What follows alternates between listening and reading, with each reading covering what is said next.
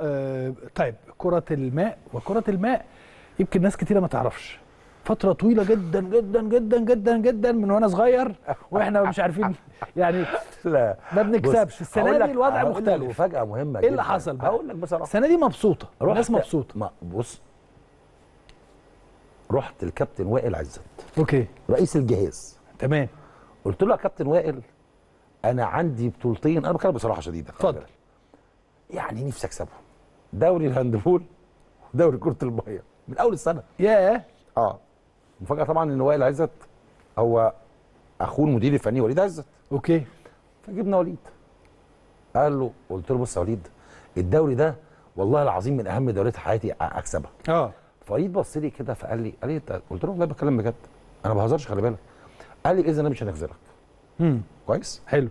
هم شغالين على منظومة بقى لهم كذا سنة. آه. مش النهارده. آه متوسط العمر عندهم قليل. أوكي. صغير. عندهم لعيبة رحت اتفرجت عليهم. عينيهم عارف انت هتموت وتكسب. يعني كل الإمكانيات كلها آه. عارف انت المربع بتاع النادي الأهلي موجود. فقلت له توكل على الله. اختلفت أنا وهو بص اهو على الهوا. آه. مع المدير الفني. كابتن وليد. هو كابتن وليد. آه. على لاعب موجود في أول ال season. كويس ودي بصرح تصريحات مهمة جدا عشان الناس تبقى عارفة إزاي الدنيا بتدار في لعيب كبير في الفرقة في أول ال season بدون ذكر اسمه يعني آه كنا عايز يخرجه.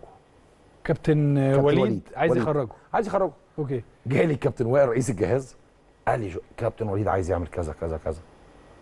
فقلت له لا أنا مش مقتنع. بصراحة شديد أهو. فاتفقت أنا وكابتن وائل على الكابتن وليد وقلنا لا هنكلمه ونشوف يعني يعني إيه عايزين الموضوع. آه. إيه الموضوع. فقعدنا قلنا له إحنا راينا لأ اللعيب ما يطلعش. ها ها ها. مين اللي صنع رأيه؟ المدير الفني. وليد كابتن وليد. كابتن وليد عزت حلو. قلت له بص يا كابتن وليد توكلنا على الله. بص يا وائل هو المدير الفني وهو يتحاسب وهو اللي. هيتحاسب. قال لي خلاص نتوكل على الله. قلت له اعمل اللي انت عايزه دي فرقتك. نفس الكلام سمعنا الكلام. بص رئيس جهاز ومدير نشاط بيسمعوا كلامي ومدير الفني. مش عشان خاطر حاجة ما إحنا ما أنا ده اللي رئيس اتعلمته. ده اتعلمته ورئيس آه. الجهاز هو واثق في الناس بتاعته فاحنا لازم نثق لازم ندي الثقه للناس. كسب بص لي كده قلت له تمام. انت كلامك صح. انت كلامك صح. وقلت له هقولها لكل الناس وبقولها لك النهارده اهو. انت كلامك صح انت اللي كنت مسؤول وانت ما شاء الله عليك وانجزت. وانجزوا كمان يعني طبعا إحنا عارفين نادي هليوبوليس ونادي الجزيرة من الانديه القويه جدا في ال water polo. لا ما مش أندية ده واخدين كل آه، حاجة. واخدين واخدين على طول. هم السنة دي ما شاء الله عليه فرقة قوية جدا لكن قدرنا الحمد لله ربنا يكرمنا. إحنا بعد المرحلة الثانية هم عندهم ال play off ثلاث مراحل.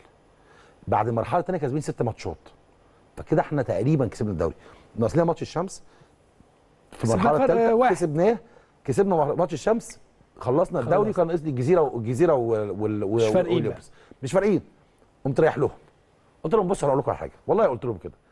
وكابتن وليد قال لي بص إحنا لازم بقى نلعب كل الناس. قلت له بص أقول لك حاجة لاعب اللي انت عايز تلعبه. مفيش دعوة مشكلة. اكسب. بس اوعى تخسر.